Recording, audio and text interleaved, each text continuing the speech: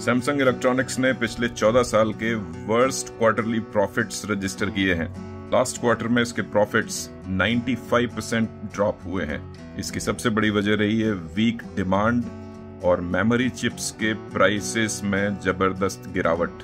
South Korean technology giant Samsung का chip division उसका cash cow है। इसका मतलब ये है कि वो उससे सबसे ज़्यादा प्रॉफिट्स कमाता है। लेकिन इस बार प्रॉफिट्स में भारी गिरावट हुई है। लेट्स सी आने वाले टाइम में सैमसंग इस प्रॉब्लम को कैसे हैंडल करता है।